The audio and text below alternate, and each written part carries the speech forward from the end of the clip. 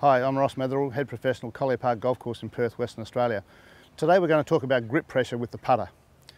We see so many people who grip the putter and their thumb pressure is, is pointing into the grip. We are trying to get the putter to work this way, that the grip pressure is into the grip, into the body.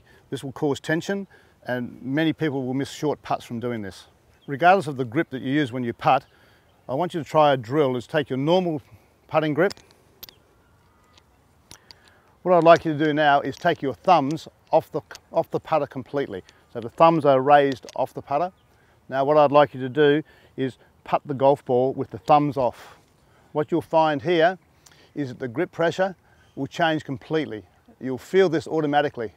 So let's have a go at this. You'll find that the club will release a lot easier this way.